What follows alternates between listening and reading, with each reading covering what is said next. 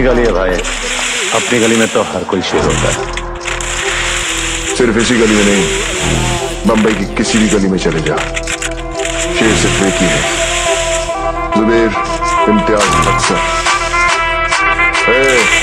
लेकर निकल अपने दोस्तों और दोबारा इस गली में कदम मत रखना।